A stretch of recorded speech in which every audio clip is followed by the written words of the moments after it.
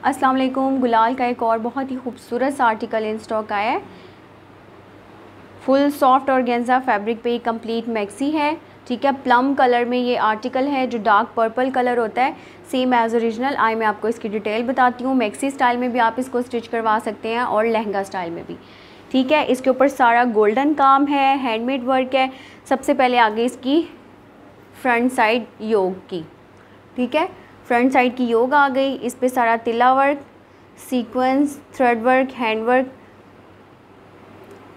सब हुआ हुआ इस पर ठीक है? गोल्डन इस पर सारा काम है। प्लम कलर में ये आर्टिकल है और गेंजा फैब्रिक पे। ये आगे इसकी फ्रंट साइड यहाँ से ये नेकलाइन बनेगी इसकी और बैक इसकी प्लेन है। ठीक है? सॉफ्ट और गेंजा है बैक इसकी प्लेन है। इसको आप दोनों स्टाइल में स्टिच करवा सकते हैं मैक्सी में भी और लहंगा स्टाइल में भी। अब आ गया इसके नीचे मैक्सी का फैब्रिक ठीक है छः कलियाँ फ्रंट की हैं फुल हैंडमेड ये देखें। बहुत ही खूबसूरत कलर है जो वीडियो में नज़र आ रहा है। छः कलियाँ फ्रंट की हैं और छः ही बैक की हैं।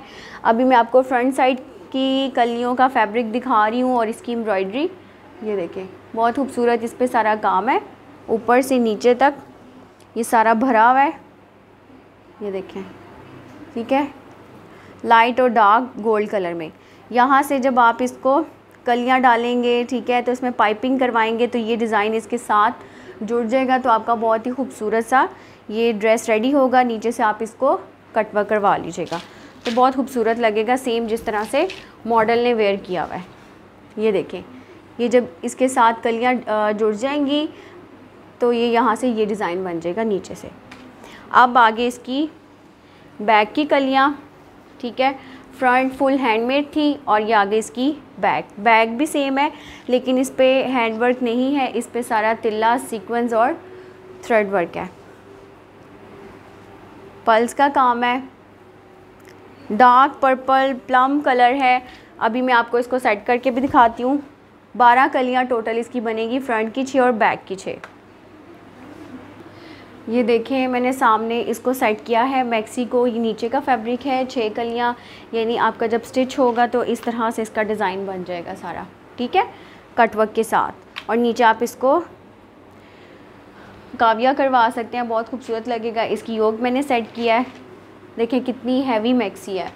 अब आगे इसके सेम फैब्रिक में सॉफ्ट और गेंजा में फुल हैवी एम्ब्रॉयडर्ड स्लीव्स ये इसके स्लीव्स हैं।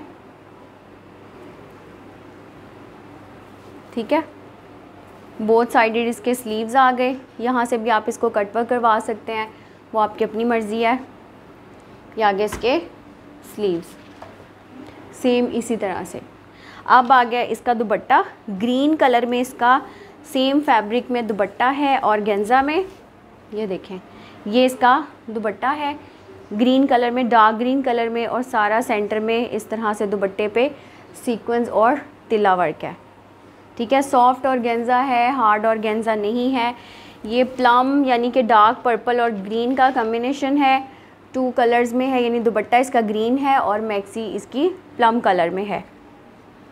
अब आगे दुपट्टे का वन साइड जो बॉर्डर है, वो इस तरह से एम्ब्रॉयड है।